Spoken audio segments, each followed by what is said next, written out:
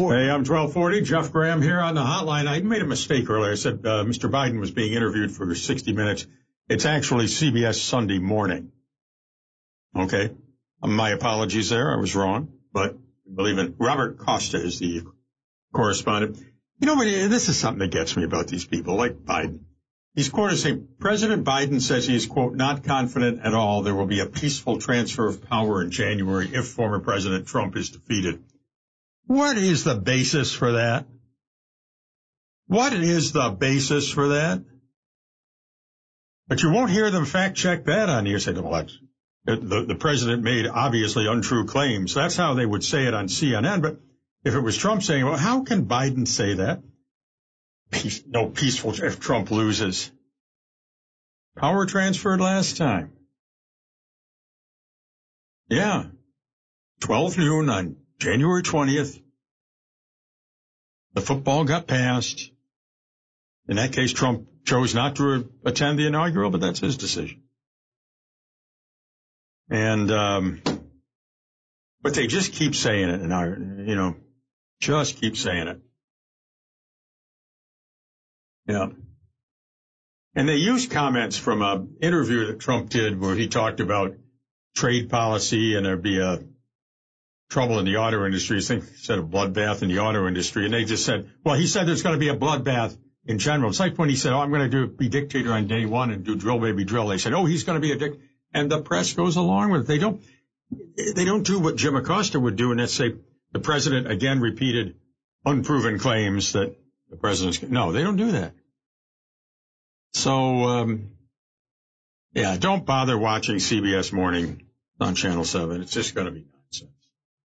Nonsense. Poor Taylor Swift fans over in Vienna. That's too bad. No concert. That's not right. That just isn't right. Well, um, you know, some of these polls, and you can pick your polls, and some show battleground states this and that, and some show ties and this, uh, you know. And I agree, uh, you got to look at the, the, the trends and everything, but there is one new poll from Marquette University that gives Kamala a five point lead in a head to head. Now there's other people in the race, whether it's Jill Stein or Kennedy, or whoever. So those type of uh, polls are a little suspect in that regard. But let's face it, the numbers have definitely moved the other way. Definitely moved the other way. So Trump's got to do something because it's slipping away, I think. Yeah. And man, are we going to have some high taxes. But the, the good thing about having Kamala Harris in there is from sea to shining sea, uh, in all the boys' bathrooms in our local schools, there'll be uh, tampons free. Yeah. We'll get that. And everybody will be getting, uh, all your kids in school, they can just go down to the nurse's office and sign up for a sex change and who knows what else. It's going to be great. It's going to be great. All righty. 755-1240, the phone number if you'd like to be on the air today. And we are on the air to talk about all sorts of things.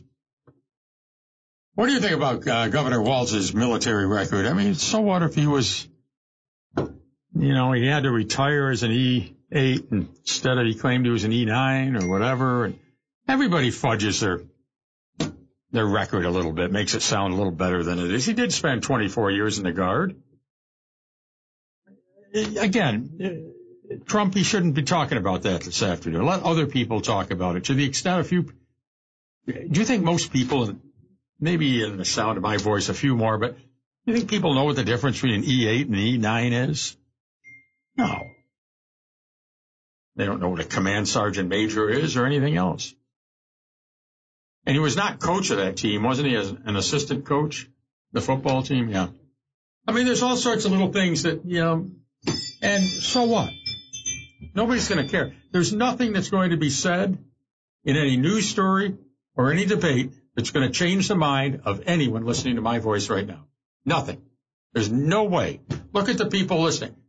You know, whether it's the Duff or whether it's the angry guy on one side or whether it's Danny or SG on the other. There's no, nobody's mind is going to change as a result of anything said here, written anywhere else. Any endorsements, any editorials, nothing. People are frozen in amber on this. Now there probably are